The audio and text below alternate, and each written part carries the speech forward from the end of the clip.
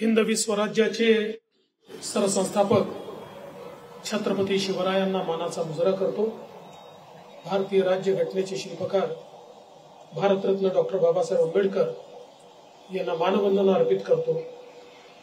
नमो चषकाच्या उद्घाटनाच्या निमित्ताने मंचावर उपस्थित ज्यांच्या पुढाकाराने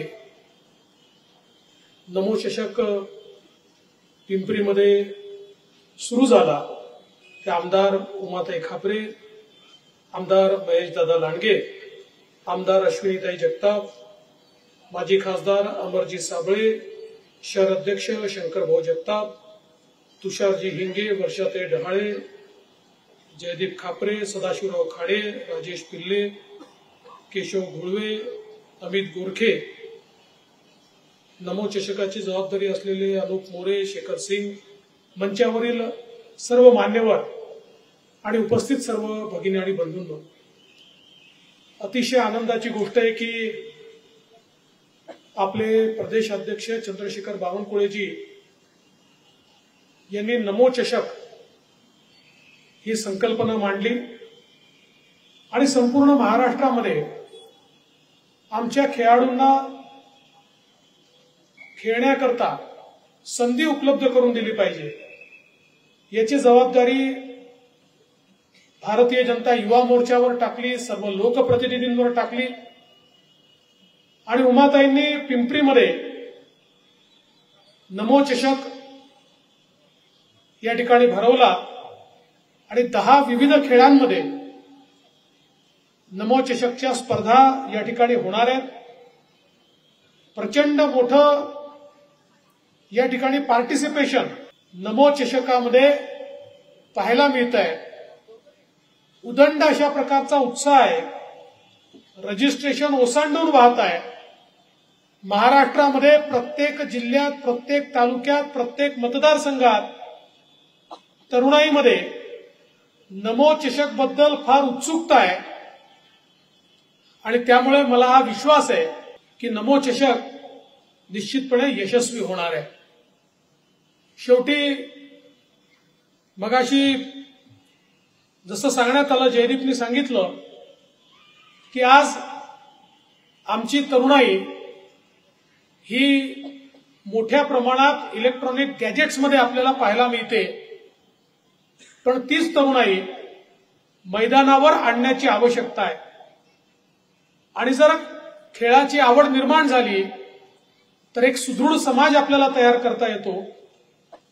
आणि विशेषतः आपल्या सगळ्यांना कल्पना आहे की खेळामध्ये कधी हार होते कधी जीत होते पण हार आणि जीत ही दोन्ही महत्वाची नसते. महत्वाचं असतं स्पोर्ट्समन स्पिरिट खेळ भावना. ती एकदा व्यक्तीमध्ये तयार झाली की हारला तरी तो पुन्हा नव्याने लढण्याकरता तयार होतो आणि जिंकला तरी देखील पुढच्या जिंकण्याची तो तयारी करतो आणि ज्या युवांमध्ये ही भावना तयार होते संघर्षाची जिंकण्याची प्रयत्न करण्याची आणि हारलं तरी हार न मानण्याची ते युवा आणि तो समाज हा नेहमी प्रगती करत असतो. दुसरं आपण बघितलं की आज मैदानी खेळ खेळणारे आमचे जे सगळे खेळाडू आहेत आज मोठ्या प्रमाणात याच्यामध्ये देखील व्यावसायिकता आली आहे.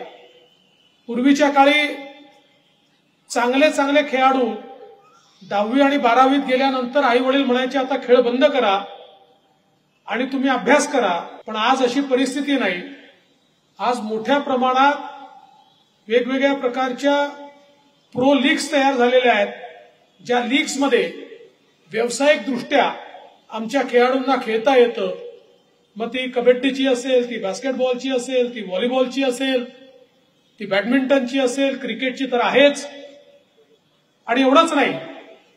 तर शासनामध्ये देखील आपले जे खेळाडू राज्यस्तरावर खेळतात आंतरराष्ट्रीय स्तरावर खेळतात त्या खेळाडूंना थेट नोकरीमध्ये समाविष्ट करून घेण्याचं काम देखील आपण करत असतो. मला आठवतं मागच्या काळामध्ये अनेक आमचे तरुण तरुणी हे थेट क्लास टू ला क्लास वनला डीवायएसपी म्हणून आपण त्या ठिकाणी त्यांचा समावेश करून घेतला. आणि आज ते खेळाचाही विकास करतायत आणि त्यांना पूर्णपणे सिक्युरिटी त्या ठिकाणी मिळालेली आहे. आणि म्हणून देशाचे प्रधानमंत्री मोदीजी यांनी खेळाच्या संदर्भात प्रचंड मोठी योजना तयार केली. आणि आपल्याला माहिती आहे की आज खेळाचं बजेट हे मोदीजींनी शंभर पटीने वाढवलं. खेलो इंडिया सारखा एक गेम सुरू केला ज्यातनं शालेय विद्यार्थ्यांना खेळण्याकरता प्रोत्साहन मिळालं. आज त्याचा परिणाम असा आहे की आपण पाहू शकतो ऑलिम्पिक्समध्येही मेडल मिळत आहेत आणि एशियाडमध्ये तर आम्ही मेडलचं शतक पार केलेलं आहे. जे कधीच घडलं नाही ते आता घडताना दिसतंय. पूर्वी छोट्या छोट्या देशांच्या खाली भारताचं नाव असायचं. पण आता पहिल्या पाच देशांमध्ये एशियाडमध्ये भारताचं मेडल टॅलीमध्ये नाव आपण पाहतो. आणि जेव्हा एखादं मेडल मिळतं एखादं पदक मिळतं त्यावेळी त्या खेळाडूलाच आनंद होतो असं नाही. ते पदक जेव्हा दिलं जातं त्यावेळी आमचं राष्ट्रगीत त्या ठिकाणी वाजवलं जातं. त्या राष्ट्रगीतामुळे प्रत्येक भारतीयाचा मान आणि सन्मान हा त्या ठिकाणी वाढत असतो आपली देखील मान उंच होत असते. आणि म्हणून खऱ्या अर्थानं हे अत्यंत महत्वाचं आहे. ज्या प्रकारची प्रशिक्षणाची व्यवस्था ज्या प्रकारची न्यूट्रिशनची व्यवस्था ज्या प्रकारे स्पोर्ट्स मेडिसिनची व्यवस्था आज आमच्या देशामध्ये तयार झाली आहे मला असं वाटतं की येत्या काळामध्ये निश्चितपणे आपल्या देश अतिशय जागतिक स्तराचे खेळाडू हे तयार करतोय आणि करणार आहे. आणि मोदीजींनी एक नवीन मंत्र दिला आहे दोन हजार छत्तीस सालचं ऑलिम्पिक हे आपल्याला भारतामध्ये घ्यायचं आहे. त्याची तयारी आता मोदीजींनी सुरू केलेली आहे. आजपर्यंत केवळ विकसित देश ऑलिम्पिक घेऊ शकले. विकसनशील देशांनी कधी ऑलिम्पिक घेतलेलं नाही. पण भारत हा पहिला देश असा असेल. अर्थात दोन हजार छत्तीस पर्यंत मोदीजी आपल्याला विकासातही खूप पुढे घेऊन जाणार आहेत. पण पहिला विकसनशील देश असेल की ज्याच्यामध्ये ऑलिम्पिकचं आयोजन केलं जाईल.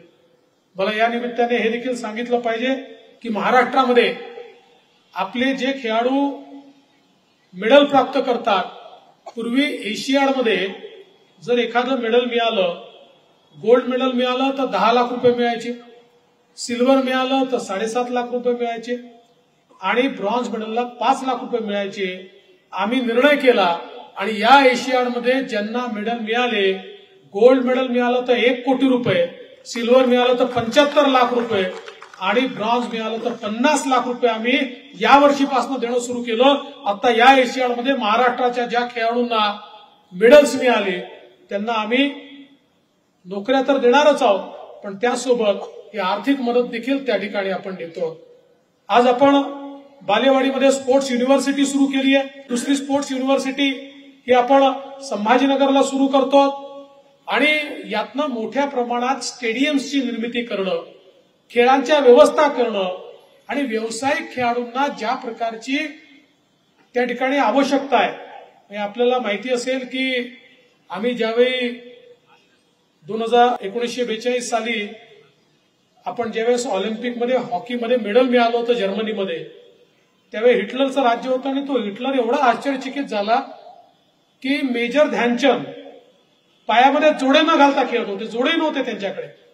आणि तरी त्यांनी गोल्ड मेडल त्या काळामध्ये मिळवलं होतं. आणि त्यानंतर त्यांची हॉकीची स्टिक हिटलरनी मागवली.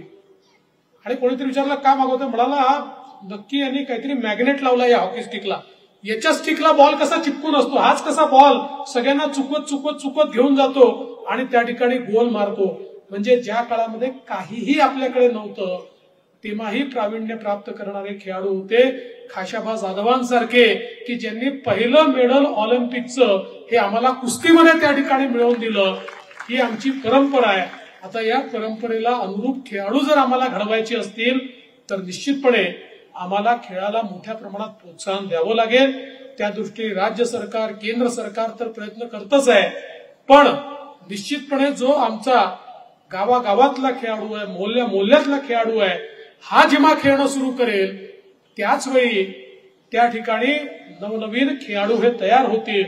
आणि एक गोष्ट अजून मला या निमित्ताने सांगितली पाहिजे की पूर्वीचे खेळाडू हे मेट्रो सिटीज मधनं तयार व्हायचे मुंबई सारख्या दिल्ली सारख्या आताचा खेळाडू हा गावात येतोय. आज गावातला खेळाडू देखील प्रावीण्य प्राप्त करतोय. आणि म्हणून नमो चषक एक असा प्रयत्न आहे की गल्ली बोळातल्या खेळाडूला देखील प्रोत्साहन मिळालं पाहिजे. खेळण्याकरता मैदान मिळालं पाहिजे. तो चांगला खेळला तर त्याला मेडल मिळालं पाहिजे त्याला चषक मिळालं पाहिजे. आणि म्हणून हा अतिशय चांगला उपक्रम आपण हातामध्ये घेतलाय. मी उमाते तुमचं मनापासून अभिनंदन करतो की पिंपरीमध्ये तुम्ही त्याची सुरुवात केली. आणि जे खेळाडू आज या ठिकाणी उपस्थित आहेत पाच खेळातल्या खेळाडूंची माझी एक छोटीशी भेट त्या ठिकाणी झाली.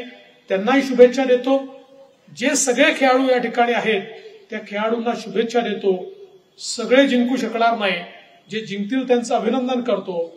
पण जे जिंकू शकणार नाही त्यांनी मात्र निग्रह करायचा आहे. आपल्याला अधिक ताकद लावावी लागेल अधिक मेहनत करावी लागेल. आणि जे जिंकणार नाही त्यांनी या ठिकाणून एक संकल्प करून जायचा आहे. पुढच्या वर्षी नमो चषक हा आम्ही मिळवणारच. पुढच्या वर्षी आम्ही जिंकणारच. अशा प्रकारचा संकल्प घेऊन जर तुम्ही गेलात तर तुम्हाला जीवनात कोणी हरवू शकणार नाही. आणि म्हणून सर्व खेळाडूंचं मनपूर्वक अभिनंदन करतो. आणि माझे दोन शब्द संपवतो. जय हिंद जय महाराष्ट्र.